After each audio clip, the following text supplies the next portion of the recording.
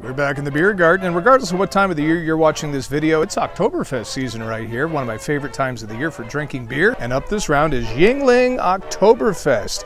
Now, if you've made it this far in the video, please click that subscribe button down below.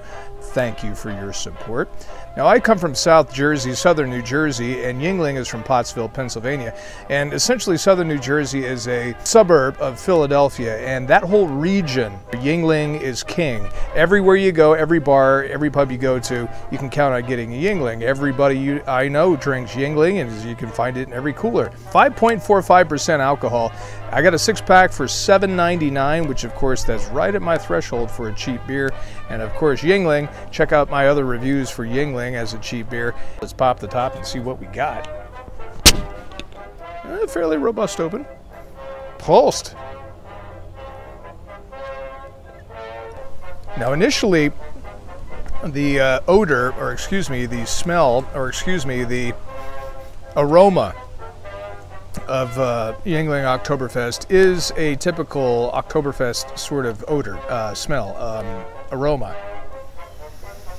You get that heavy malt aroma, which is what I like. Uh, the Märzen or the Oktoberfest style of beer is uh, one of my favorite styles of beer. I was born in Germany, lived in Germany, and drank many a beer in Germany, and it is my favorite style.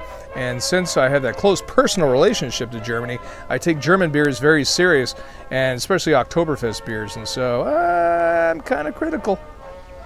And I would have to say, if you like Yuengling, you would like Yuengling Oktoberfest.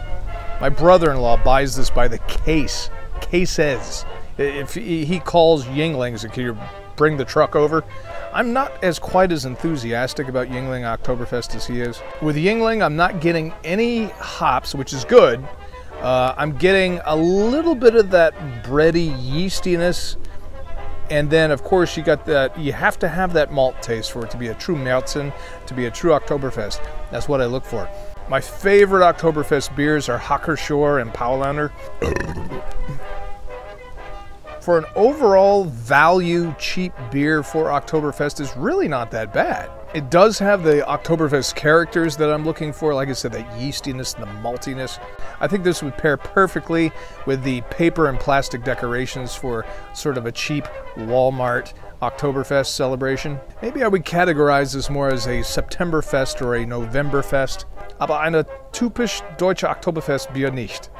For me, it's not a typical German Oktoberfest beer. So, out of five stars, five being a very good, cheap Oktoberfest beer, where do I rank Yuengling Oktoberfest? I'm going to go ahead and give it a 4 out of 5 stars. So, hey, please remember to click that subscription button below and uh, definitely subscribe. We definitely appreciate it. And here, check out some of my other videos. And hey, it's a beautiful day in the beer garden here. And regardless of what time of the year you're watching this, it's Oktoberfest season. So grab yourself a cheap beer. Prost!